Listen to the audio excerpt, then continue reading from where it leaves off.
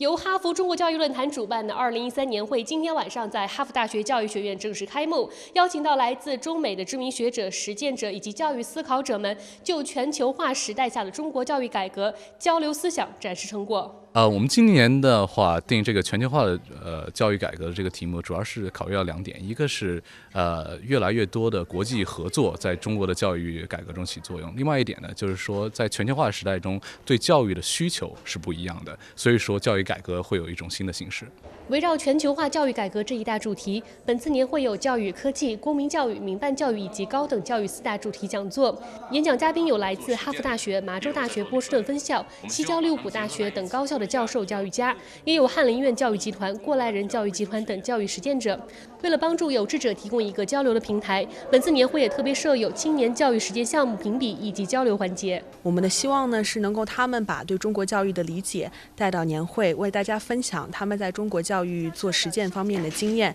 也能够促进交流，能够使两方能够交流了解。哈佛大学教育学院中国教育论坛本届年会是由美国亚洲文化中心作为战略合作伙伴，为帮助中国的教育改革，为有志者提供一个交流的平台。在明天的论坛当中，也将就中国教育改革进行讨论。美国中文电视驻波士顿记者叶涵报道。